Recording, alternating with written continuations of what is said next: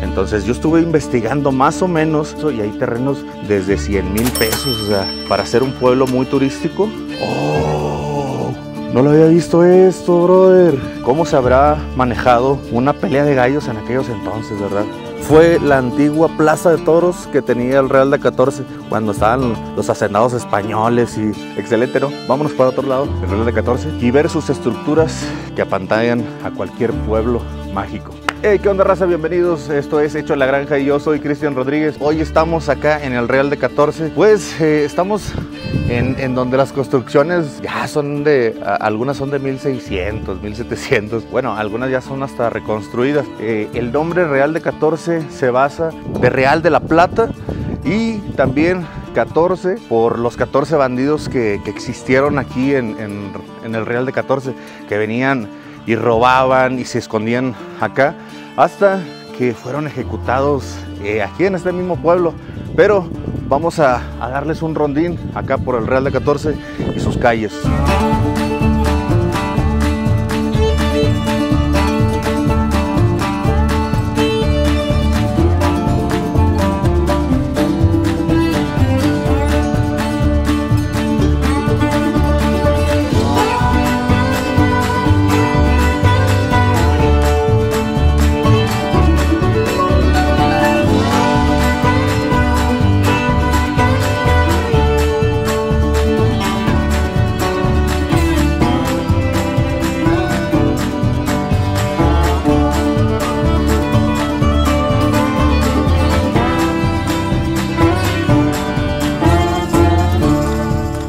Gente, aquí estamos ya así una cuadra, una cuadra de la plaza principal donde está el kiosco.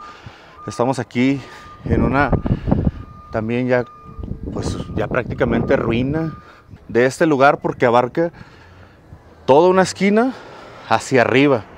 O sea, prácticamente de aquí lo que es en esta subida, en, en esta calle, pues no sé si, si ha de haber sido como algo importante en aquellos años, pero la gente de aquí pues ya lo utiliza como algún estacionamiento, ya que pues en la calle a lo mejor pues ahí estamos estacionados nosotros, pero ahorita nos vamos a mover, pero realmente en las calles del Real de 14 no te puedes estacionar para no obstruir lo que son pues estas vialidades que son muy pequeñas eh, y solamente es para un, es un sentido y este es el que va para arriba, ¿no? Porque si en dado caso lo llegas a, a, estacionar en alguna calle o así, puede llegar la policía, te quita las placas y nos comentaban que alrededor es como de unos 1.500 a 2.000 pesos lo que la multa cuesta. Y fíjense gente, eh, este tipo de casas que regularmente la misma gente del pueblo sigue rescatando. Entonces yo estuve investigando más o menos sobre las casas de acá de, del Real de 14, terrenos y todo eso, y hay terrenos desde 100 mil pesos, o sea, prácticamente para ser un pueblo muy turístico, pero también prácticamente abandonado. Y dirán ustedes, ¿por qué abandonado? Bueno, es un pueblo semi abandonado, solamente que la gente que vive aquí, mucha gente eh, no se quiere ir de este pueblo porque la verdad se mantiene el turismo, ya se acostumbró a trabajar aquí. Y otra cosa bien importante que algunas personas son descendientes de mineros, eh, de personas que trabajaron en su antigüedad aquí, con lo que sufrió la gente con los españoles. Esta es la misma calle pero de este lado está la puerta abierta. Vamos a ver, no sabemos qué sea aquí. Mira, la verdad es que qué bonito, ¿no? ¡Oh! No lo había visto esto, brother. Palenque de Gallos, el edificio no es el original, pues el primero hecho estaba ya construido en 1863, el empresario Diego González construyó un nuevo palenque de piedra, excepto las grandes hechas de madera en 1977. Oye, la, neta, fíjate gente, no había visto esto, no había entrado a este lugar hasta apenas ahorita, como un coliseo, ¿no? Bueno, pues no va a ser un coliseo obviamente, pero sí era una, era un lugar en, en representación yo creo que del original. Vamos a ver cómo, cómo se ve desde acá arriba, brother. Ah, qué caray. Mira, cómo lo ven, gente. Y todavía hasta la montaña se asoma, ¿no? Y por esta entrada, gente, es donde venía la gente que se subía pues se podía sentar en las áreas de arriba, ¿no? Imagino que el área VIP era el área de abajo, ¿no? Donde podías hacer las apuestas y todo eso. ¿Cómo se habrá manejado una pelea de gallos en aquellos entonces, verdad? En el pueblo ya solamente los gallos los utilizan como para, para dar huevos, para seguir haciendo más producción de gallos y gallinas, ¿no? E incluso, incluso tienen sus foquitos, ¿eh? Como que siguen haciendo tal vez alguna representación de la pelea de gallos o así, porque hay que venir yo creo que en fin de semana para que la gente pues ya te pueda hacer shows y todo eso, porque también hay personas que te cuentan leyendas y todo. Miren, vamos a subirnos aquí, arribita, pero hay que tener cuidado porque un paso en falso y la neta, el trancazo sí está duro, ¿eh? Esto debe haber sido una representación, yo creo, para alguien importante, ¿no? Tenía su propia escalera y desde aquí, ¿no? Desde aquí, a lo mejor alguno de los hacendados, pues lograba ver lo que era la pelea presencial, ¿no? Desde su balcón. ¡Ah, qué caray, raza! No había entrado a este lugar, pero ¿qué les pareció? Excelente, ¿no? Vámonos para otro lado del Real de 14 y ver sus estructuras, pues que apantallan a cualquier pueblo mágico. Es como nos decía don Eleuterio, sí es un pueblo mágico, pero realmente se le tiene que llamar por su nombre. Esto fue un pueblo minero.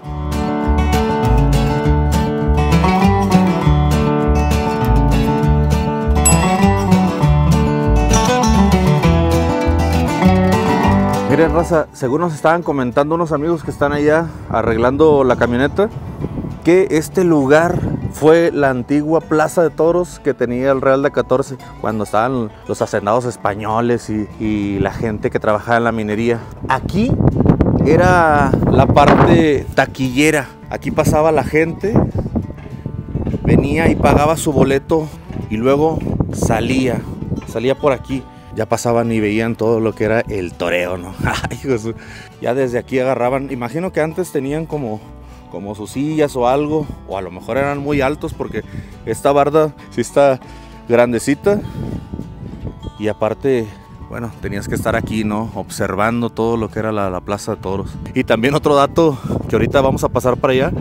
Allá enfrente es donde está el panteón el Panteón Antiguo de aquí del Real de 14. Y pues también gente, acá tienen su pues su escrito donde dice que la Plaza de Toros en el costado del sur se colocó una gran fachada clasista de 7 metros de alto, fabricada y pintada en cartón. Bueno, todo lo que habrá sido en su momento cartón, pues ya no existe gente. Ahorita solamente ya no más queda todo, todas estas estructuras que imagínate todo el tiempo que tuvo que haber pasado y todavía está en pie. En 1863 todavía estaban aquí los españoles eh, que eran pues, prácticamente dueños de estas minas. Esto, esto no sé para qué se pudo haber usado, gente. Pero aquí hay un hueco. A lo mejor aquí ponían eh, las lámparas o así, ¿verdad? Porque no nomás es este, también está de este lado otro, otro igual, yo creo que es donde se ponían las lámparas por si oscurecía mucho o algo, ¿no? Imagínate, pues, a pesar de todo esto, de que aquí está, mira, vamos a bajarnos. Ah, mira, gente, no lo había visto. Por aquí pasaban los toros. Mira, tenían su, su propia entrada. Que es obvio que por aquí pasaban. Pero lo que me pregunto yo es, tal vez el toro, en este caso, por este lado sí pudo haber brincado, o a menos de que los años ya hayan tumbado demasiado piedras, pero imagínate que no es una de esas el toro, ¡pum! brincar de la nada, pues sí está cañón.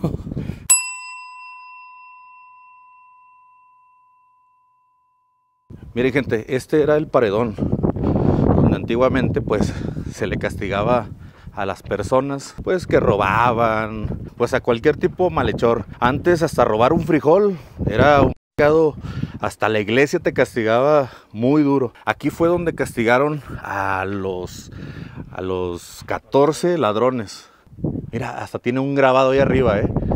Ahí arribita tiene un grabado. Nomás que no lo alcanzo a leer bien. Y está muy alto, eh. La verdad es que sí, sí es una estructura muy alta. Miren nomás el tamaño de las balas, brother. Increíble, ¿no? O sea, y estos son, son ya han pasado miles de años, bien exagerado. No, pero sí ha pasado mucho tiempo que la profundidad de esta bala, eh, no sé si el aire a lo mejor la ha hecho muy, muy grande, y fueron acribillados yo creo que en, en, un, en un, solo lado, porque de este lado solamente se miran algunas balas, ¿eh? o sea, algunos pozos de, de arma, son pocos, ¿eh? son pocos. Pero realmente, realmente, realmente, aquí es donde están todos, aquí en este lado. Y todavía faltan los pozos que no se llegaron a hacer, bueno, las balas que no llegaron a ser pozo, ¿eh? que se introdujeron yo creo en el cuerpo pues de los 14 ladrones. Si alguien se sabe bien la, exactamente la historia de los 14 ladrones, cuéntela ahí en un comentario, porque según yo eran ladrones que robaba, le robaban a la gente rica y venían y se escondían dentro de estas montañas. Esta ya es una casa que bueno, también eh, ruinas antiguas y todo, pero lo bonito de esto es que la misma gente del Real de 14 ya las habitan y las reactivan, ¿no? Y hacen que todo esto todavía parezca más mágico. Y yo creo, y no quiero ser un poco exagerado, pero realmente un pueblo como este, eh, no hay un pueblo más mágico que Real de 14. Creo que este sí es el, el, lugar indicado para decir que es el mejor pueblo. No quiero... Eh, eh, parecer oportunista, pero si en realidad para mí, o no sé, ustedes comentan ahí, si realmente Real de 14 si es el verdadero pueblo mágico que todos esperamos ver algún momento.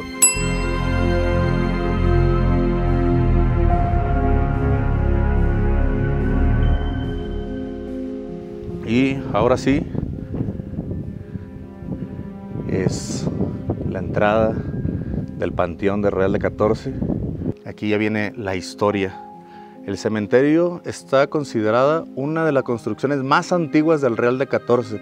Consta de dos secciones, una dedicada a San Francisco de Asís y la otra de la Virgen de Guadalupe. En la primera, los franciscanos edificaron una capilla en 1775, cuando el lugar se llamaba Los Álamos.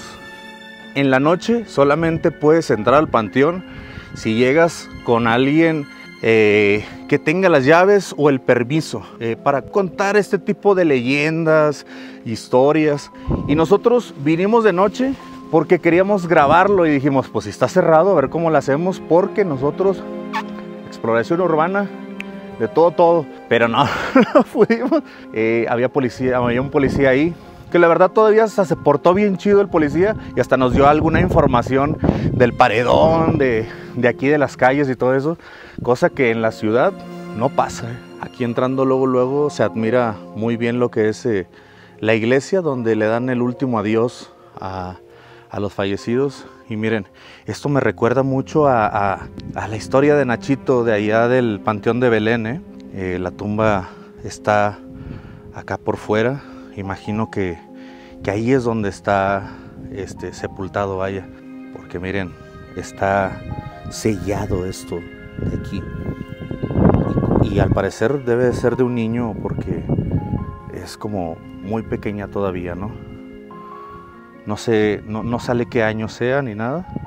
Me dijeron que si hubiera entrado en la noche hubiera sentido lo que en verdad es el terror aquí, ¿eh? que, que, por eso cierran la puerta de aquí de, del panteón porque había gente que venía y, se venía a tomar y aquí los asustaban, ¿eh? de 1906. Yo creo que todavía son tumbas actuales, pero miren eh, los diseños, ¿eh? su propia puerta. ¿eh?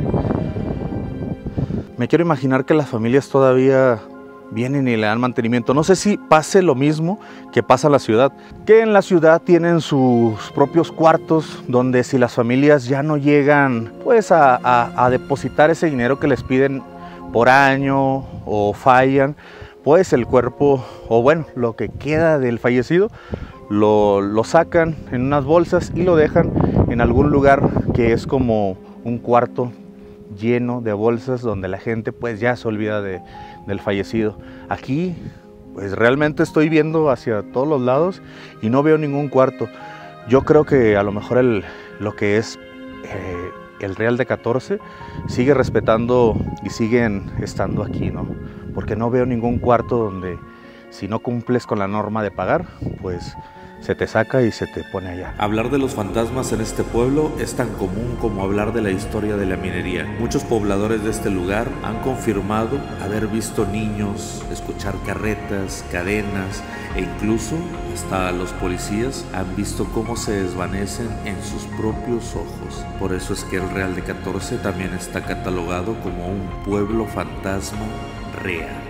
Eh, hasta ahorita nos está diciendo un, velador de los de aquí, que son de los que cuidan eh, y que también le dan mantenimiento al panteón, que esta iglesia es pues más actual, pero de este lado es donde está el panteón pues más antiguo y esta es la entrada, así que gente, vamos hacia adentro. No sé ustedes, pero yo sé que me van a decir ahí en el comentario, deberías de meterte en la noche, pero hoy, exactamente hoy, ya me voy. Y la verdad es que sí valdría la pena venir de noche, pero esta vez sí se los voy a deber. Ni, ni cómo, ni cómo abrirle. Pues prácticamente esta es la iglesia más antigua de este panteón, que fue la, primera edificación de la iglesia. Era muy pequeña, ¿eh? O sea, comparada a la más actual, vaya que esta sí era pues prácticamente unos cuatro cuartos de una casa, ¿no? Este, este, este también parece una tumba, ¿eh? parece un mausoleo pequeño, ¿eh? que a veces los mausoleos se, utilizaban en, en, aquellos tiempos poner a cada uno de la familia. Entonces aquí viene todavía hasta esto como las letras. Eh, ya las letras las veo muy desgastadas ¿eh? y no, no, no le entiendo un poco bien. Pero miren, miren qué chulada, ¿eh? aunque no le entiendo un poquito a las letras porque ya están un poco desgastadas, de 1858, fiesta de la Concepción María de la este. Bueno, tal vez puede parecer un mausoleo o tal vez solamente es las escrituras de cuando lo abrieron, ¿no? Es, es, que, es que en realidad, pues imagínate, si es del primer panteón, esto debe ser, pues, más bien antiguo.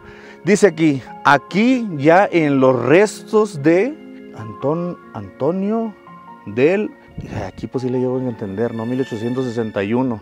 Indudablemente, sí, no es alguna fecha de cuando abrieron el panteón, ¿eh? porque si viene el nombre de una persona que falleció y aparte dice, aquí ya en los restos Don Antonio del Alconcepción. Pero como dato, este panteón, que es el primer panteón de aquí, del Real de 14, este sí se encuentra totalmente cerrado, ¿eh? de noche, de día, porque realmente mira, aquí ya se hace todo lo que la naturaleza está reclamando. ¿eh? Y gente, pues este, este panteón totalmente es increíble. Vaya que hay muchas tumbas.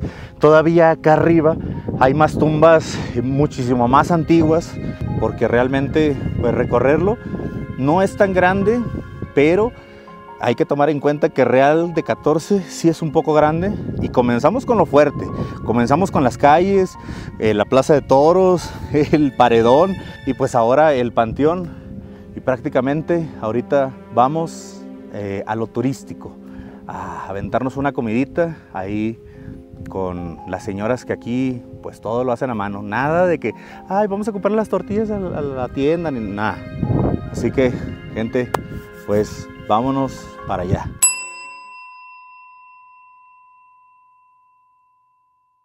Pues ya nos encontramos aquí dos locales, mira. Luego, luego entrando, nos encontramos el pan ese que ahorita vamos a ver si lo compramos para llevarle allá a la familia. Y el otro, pues aquí con Doña Chila, con la verdadera Doña Chila, ¿verdad? Con la verdadera. Bienvenidos, un saludo para Monterrey. Cuando gusten venir a comer, me da mucho gusto que nos visiten aquí en el pueblo mágico de Real de 14. Oye, casi casi me andaba regañando un señor porque dije pueblo mágico, me dijo, no, este es un pueblo minero. Y es que tiene razón, ¿verdad? Las dos cosas, porque mucha gente viene porque es un pueblo mágico por sus comidas, sus tradiciones, eh, por las estructuras, eh, porque en realidad es como un, un pueblo eh, atorado en, el, en la antigüedad, ¿no? Así es, simplemente el túnel de Ogarrio es el ombligo umbilical para llegar aquí a Real de 14. Ese túnel está antiguo, rústico, hecho por sangre de los esclavos de los españoles. Sí. Aquí tenemos también tres alóndigas donde almacenaban el grano los hacendados. Si gustan pasar a ver los techos, las paredes. ¿De aquí del local? De aquí del local donde vendo yo mi comidita. Ah, bueno, vamos a pasarle. ¿Qué nos va a mostrar, doña? Pásele. Las ricas enchiladas potosinas. Híjole, ¿estas de qué están rellenas? Estas empanaditas están rellenas de cebolla con queso por dentro, se fríen en aceite. Cinco con frijolitos, la cremita y la lechuga bien ricos. Híjole. Mire, yo ando buscando preferentemente el menudo, pero ahí disculpe, ¿cómo se llama, oiga? María. María, ya, ya nos metimos hasta la cocina, María, ¿eh? Aquí, es, estas son las que están precocidas. Eh, aquí, bueno, do- ya cru- cruditas, pero ya la están cociendo. Eh, ay, que pero quiere de acero inoxidable, doña. ¿eh? Él es José Margarito, mi hijo, el cocinero. El, el futuro dueño. El cocinero. La descendencia de doña Chila. Sí. ¿Cómo estaban? Mucho gusto. Oye, aquí, aquí están haciendo las, las empanadas. Enchilada potosina típica de aquí del estado. Es una de las variantes de enchiladas. Puedes encontrar lo que es enchilada potosina, lo que es el taco rojo. Nosotros aquí le, le llamamos solamente como enchilada. Si te acercas a lo que es el centro de San Luis Capital, eh, vas a encontrarte con que el- la enchilada que aquí nosotros conocemos como enchilada, allá, allá simplemente lo, lo conocen como un taco rojo nada más. Ajá. Así, tal cual. Ahorita hay gente que le ha dado el nombre a ese taco rojo como enchilada, eh, enchilada minera, enchilada eh, potosina. Mucha gente, mucha gente la con- la conoce como enchilada potosina. Pero en sí, la enchilada potosina es esta. Por, Es la que está es la allá. que está haciendo, es la por, por- por excelencia. Pero tienes otras variedades de enchiladas. Como te decía, el taco rojo, que es un tipo de flautita, es una tortilla roja Claro. en- eh, con, em, eh, con queso por dentro. La haces tipo flauta, la acompañas con papa y zanahoria. Ese se llama el- lo que nosotros aquí conocemos como enchilada, o en el centro del estado como taco rojo. Luego viene la enchilada eh, huasteca, que es también un taco tipo este empan- una empanadita, pero ese es un taco, una tortilla hecha taco con queso, acompañada con frijol negro y un pedazo de cecina.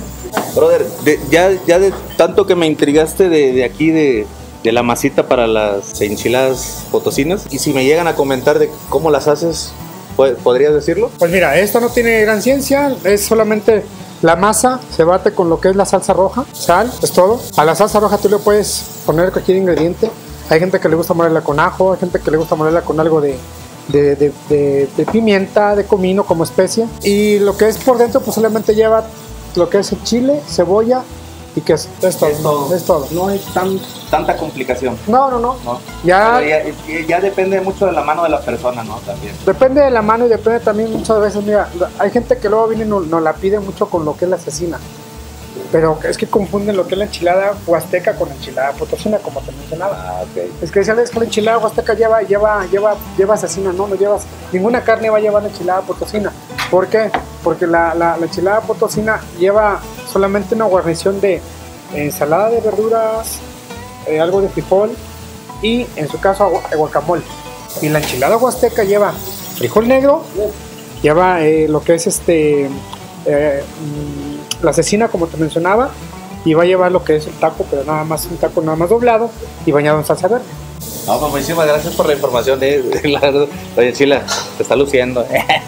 Le quiero presentar las comidas de las gorditas. Estas son las gorditas típicas de Real de 14. Sí, A ver, aquí están mírala nomás. las gorditas. Les ponemos cualquier comida de lo que gusta pedir el cliente.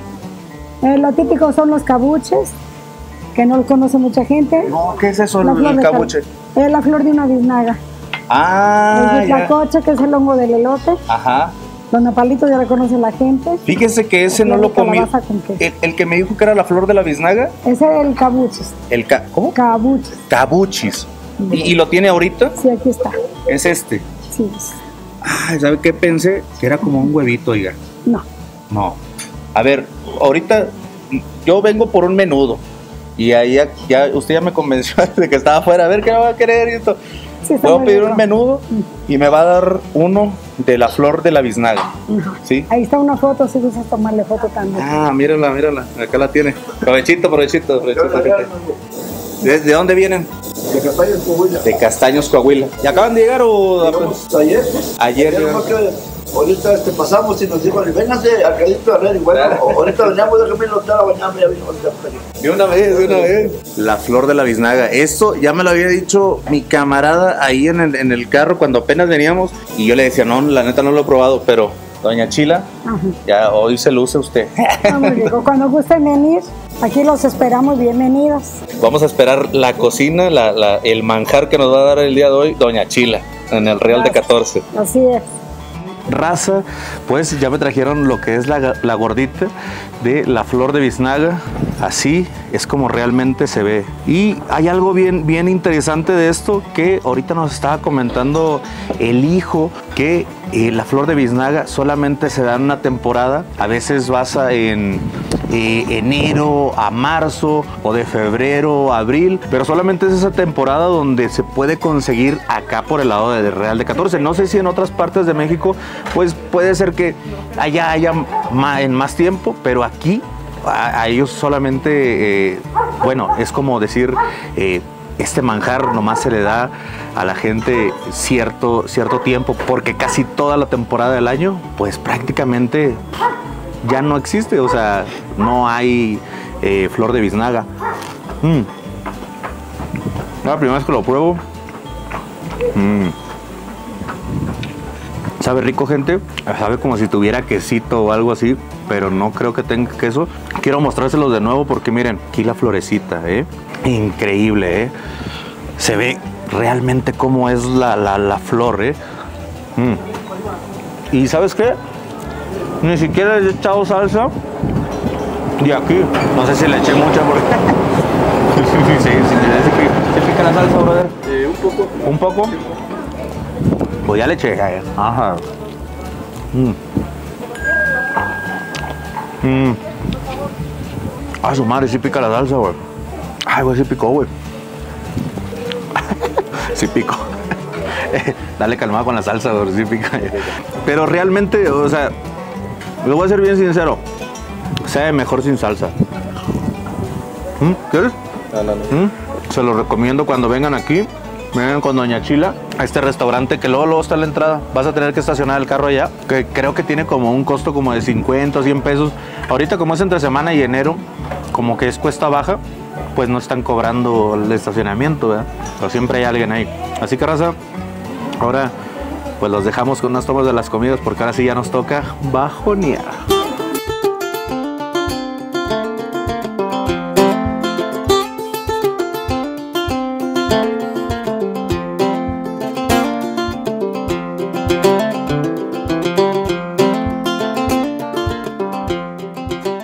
Raza, pues ya nos vamos de acá del, del local de la, la comida de Doña Chila. Y pues muchísimas gracias, brother, por, por la atención y este está muy económico también, ¿eh? Muchísimas gracias. Gracias, a Real de 14. A ver que sí, próximamente vamos a venir otra vez. Ándale. Saludos, gracias. Ándale. Ahora sí, vamos a seguir nuestro camino porque prácticamente ya vamos a agarrar carretera y vamos directo para Monterrey. Ahora sí, directo para nuestro rancho. Ahora sí. Sí. Para más videos, suscríbete, da like, comenta y comparte. Esto fue Hecho en la Granja.